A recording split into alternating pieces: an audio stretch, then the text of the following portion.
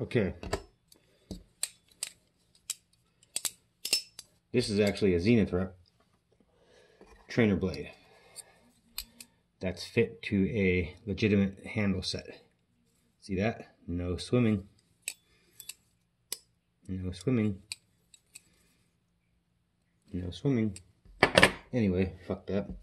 Alright, so you have your 316 stainless hex cap with knurling so you can twist it with your fingers. Your first O-ring goes on like that. Okay, what this O-ring is going to do, you'll see in the next step. So you just slide that up there.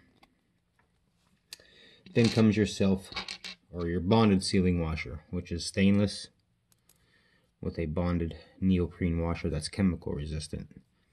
These are actually chemically resistant.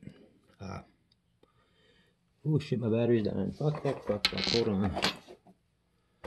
Oh, Jesus Christ. One second. Okay. Okay, sorry about that. Where'd that go? Okay. Alright. So, stainless, blah, blah. These actually have been washed about six times. They don't show any worse for wear. Anyway, so this is your 3 16th bonded sealing washer. You'll put this on after that. You'll need to thread these into there. You don't want to push them because you want the rubber to be proper sealing. So once you get this up here, what this O-ring does, the first one, is it's just an extra layer of protection that nothing gets through that little spot on the bonded sealing washer. Uh, right here. Even though it's it's rubber and it's threaded in, it's just better for an extra layer of protection. So there you go, you got that. then, whatever knife you're using, so if it's a replicant, I actually have Halm bushings right here.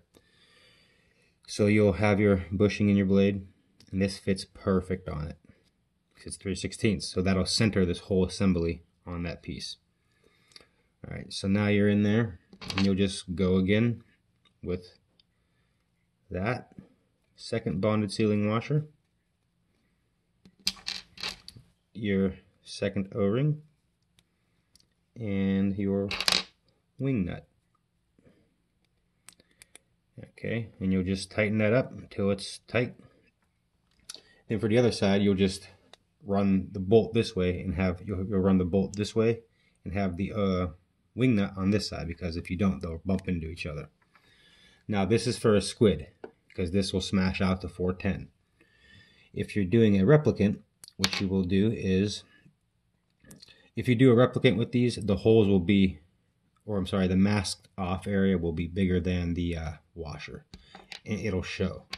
But in the case of a replicant or every other knife that uses a uh, 3 8 inch outside diameter washer, you'll use these, which are slightly smaller. See? and you'll just stack that right there and that'll give you the perfect the perfect little uh, thing that's basically what you'll get right there a couple different washers just in case they wear out uh, I'm gonna be honest with you it's about $15 in hardware I'm making like five bucks on it I mean that's reasonable I guess for driving to the hardware store and looking around for it if they don't have it, going to another one.